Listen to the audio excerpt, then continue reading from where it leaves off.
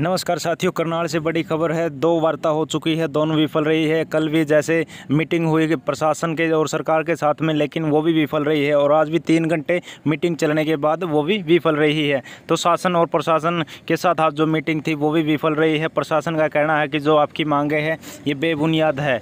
तो किसानों का भी कहना है कि जो एसडीएम है, उनके खिलाफ भी पर्चा दर्ज होना चाहिए और जिन्होंने लाठीचार्ज किया है, उन पर भी कार्रवाई होनी चाहिए, उन पर भी पर्चा दर्ज होना चाहिए। कुछ इस तरह की मांगे और जो सुशील काजला है और जिनको चोटें आई है, उनको मुआवजा मिलना चाहिए। लेकिन प्रशासन ने भी बोल दिया कि जो लाठीचार्ज हुई है, उसकी हम जाँच करवा सकते हैं तो समय लगेगा। लेकिन किसानों ने ये बात से भी इनकार कर दिया है।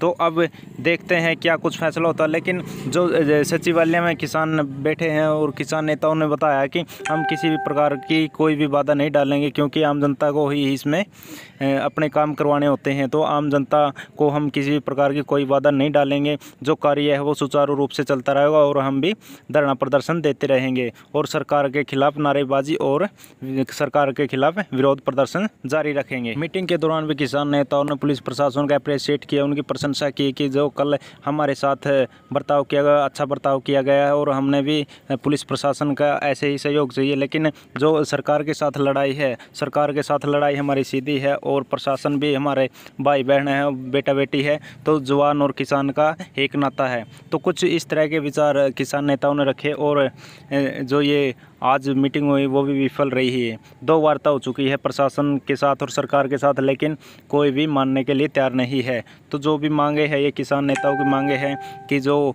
सुशील काजला, उसको 25 लाख और जिसको चोटें आई है, जो घायल हुए हैं, उनको दो दो लाख रुपए मुआवजा दिया जाए। और जो एस डी एम है, उसके साथ तीन सौ दो या 307 का मुकदमा दर्ज होना चाहिए। और जब तक हमारी बात नहीं मान ली जाती, हम तब तक धरना ऐसे ही देते रहेंगे। तो साथियों, आपने ये वीडियो कैसे लगी तो आप इस वीडियो को ज़्यादा से ज़्यादा शेयर ज़रूर करें। धन्यवाद।